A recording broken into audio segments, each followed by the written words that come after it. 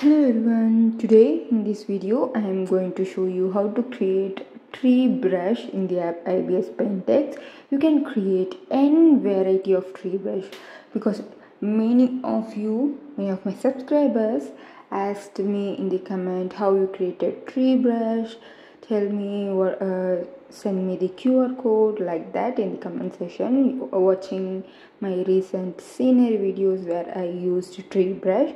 So here you can see these are the tree brush that I created on my own on Ibis Paint X. And it's not too hard to create so I will show you how to create your own.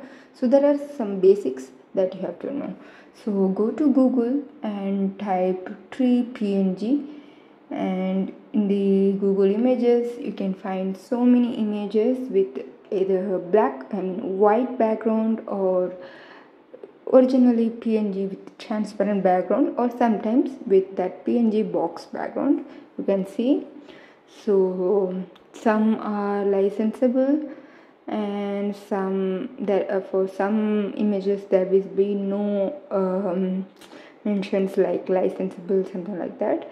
So simply uh, which image you like which tree you like you can click and download. So for example i'm taking this and just long press and you can find option download image click on that. And here you can see it's downloading. And then you can uh, simply click on whatever images whatever tree you like and long press and download that to your tablet.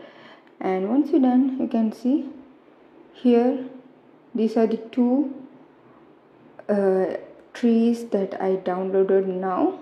And it's transparent and that's why it's not visible here but here you can see. So now I will show you how to create that tree brush.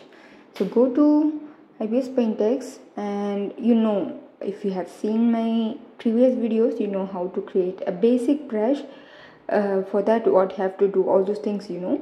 If you are new just click on this brush pattern which is available uh, at the bottom of all the canvas size options and the format I use is I use felt tip pen hard for the template. And for the type I'm go for brush pattern mono and I will go for the bigger size usually. So this is how it looks. Just clear that layer and you don't need to draw anything here.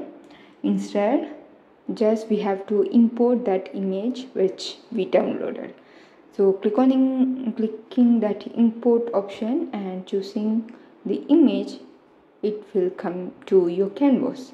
So i'm placing it so that there is no cropping of that tree. And here you can see now the extra process are here. We have to do it here. So this is how it looks after importing that tree on the canvas what you have to do is go to this brush option and here you can change the uh, make changes for your brush. Just increase the spacing and increase the pattern opacity. Now you can see this is how it looks almost done. But if you want some variations in the size like if you don't want all to be in the same size then you can make changes in the jitter and if you want to make it like a scattered tree like a scattered star kind of then you can use scatter. Otherwise don't use that. Just use the jitter thickness to make some small trees and big trees um, coming in the uh, order. And if you want some trees to be nearer and some trees to be far and you can use the jitter spacing option. So yeah this is how you can make some settings for your tree and make some variation the size all these things. Once you're done you have to click this back to gallery and wait till you get this option to confirm your brush. So click on this ok ok and now we got the brush. So it's very simple process. And if you want to create multiple tree brush simply just hide this and you can import new one and you can create new brush uh, the problem is that if you have any uh, if you have white background you know how to clear that. But if you have that png boxes then just go to google again and search for remove bg remove background. And in that website you can easily remove your background. It can be any uh, with any colorful background or these kind of png background you can easily clear it off. So here you can see it's cleared and i'm going to save this. 500 cross 500 pixel is good enough. So i'm saving that. And this is how it looks. All the png boxes are cleared. And here you can see the, it's available in the download section now I'm going back to my IBS Paintex app and I'm going to import that here. This is what we downloaded from remove background website. Now already we have made settings so we don't need to do anything further.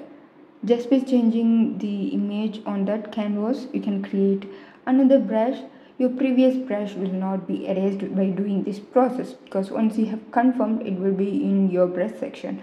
So yeah thank you for watching. And yeah if you're new to my channel please do check all my videos. You have so many information. You can learn so much from my channel. And please subscribe and check all the uh, other videos and also share with your friends. Thank you for watching. Bye